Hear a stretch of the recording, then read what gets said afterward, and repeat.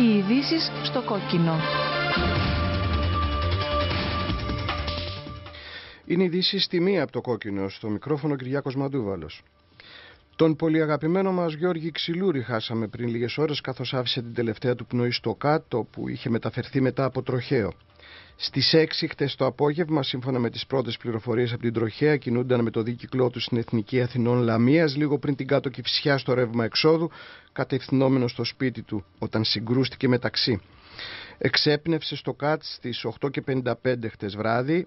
Η οικογένεια του κόκκινου, που ακόμα πενθεί τον Γιώργο Αναδρανιστάκη που αποχαιρετήσαμε μόλις την Τρίτη, συνεχίζει αυτόν τον αβάσταχτο θρήνο με ένα ακόμα τόσο προωρό χαμό που έβαλε σημάδι το Γιώργη Ξυλούρη, τον 105 και 5, την Κρήτη και όλους όσους τον γνώριζαν από τις εκπομπές και τις μουσικές εκδηλώσεις του και δικαιολογημένα τον αγάπησαν.